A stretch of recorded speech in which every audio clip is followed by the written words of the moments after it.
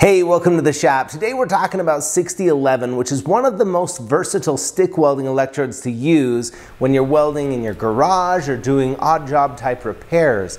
It's really versatile. Not too long ago, I uploaded a video about my favorite electrode, which is actually a 7018. I'll link that video in the description, but I got a lot of comments back saying, you know, if I could only have one rod, it'd be a 6011, and there's a lot of good reasons for that. We're gonna look at a lot of those as we get going. Now, first of all, let's talk about what a 6011 rod is.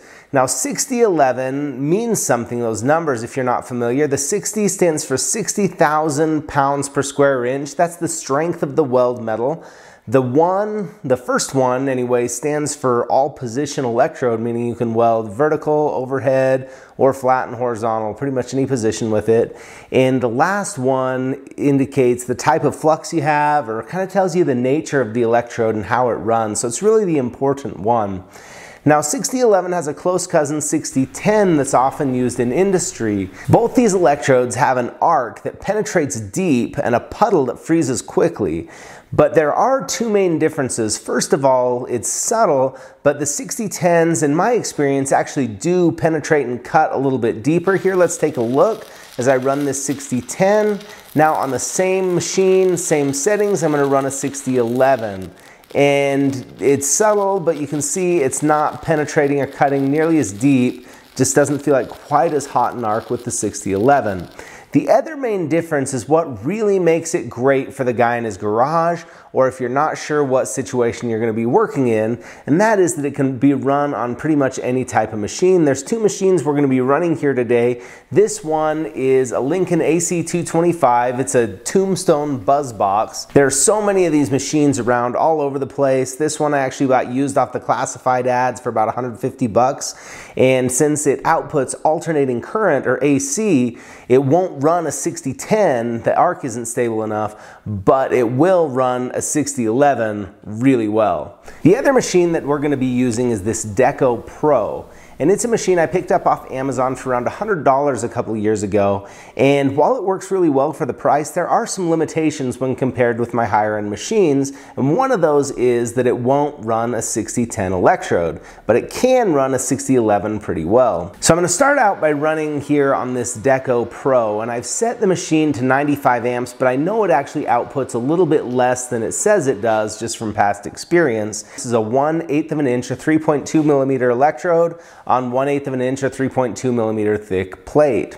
Now this electrode can handle some more amperage, but on this plate, this is a pretty good setting. Now when you run these electrodes, it really helps to use some torch manipulation and that can help to control the puddle. There are two different ways that I'm aware of to do this. The first here I'm running is called a whip and pause. And what that is, is I'll move forward right to the very front edge of the puddle without getting out of it, and then move back about half the distance that I'd moved forward. And I repeat this all the way across. The other option is to make small circles as you move along, and it has a similar effect. And this just gives an opportunity for the weld metal to cool a little bit, that puddle to freeze, and you move forward. So that works really well. Now let's go ahead and move over to this other machine, this Lincoln AC225. I've set it to 90 amps and love that sound when you turn these things on, get this buzz box going.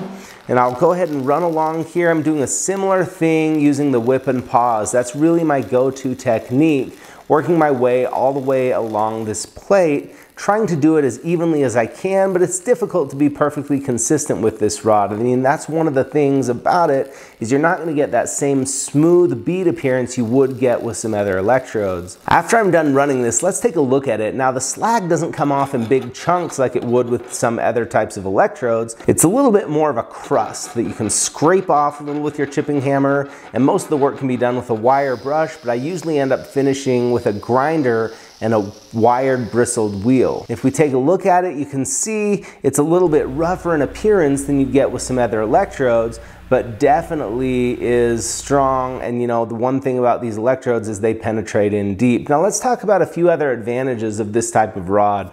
One is that uh, while it's a best practice to always have clean, bright, shiny metal to weld on, it's not always practical to get everything totally clean. And this rod, since it penetrates in so deep, can actually tolerate a little bit of rust and a little paint or dirt better than other rods can.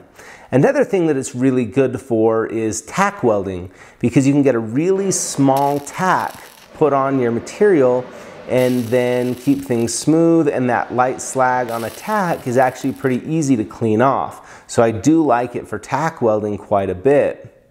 One other way that you can use these rods is by welding vertically down. Now not every electrode will work to weld vertical down, but this does work quite well with a 6011 or also with the 6010. And the main thing about this is it's a best practice to do this on, you know, material around three millimeters, an eighth of an inch thick or thinner. There are two main advantages to this vertical down arrangement. The first one is you can run it with a nice hot setting and travel pretty quickly so you finish your job faster, but also by doing that you reduce the amount of heat that you put into your material and you avoid burning holes through it uh, as you work your way down with the weld pool. So there you go, that's a 6011. Definitely worth getting you some. Keep a few around to use uh, here and there. Get used to them because I guarantee they're going to come in handy. I've run a lot of these rods. Well, if you learned something here enjoyed this video, let me know by hitting that thumbs up below. We'll see you next time.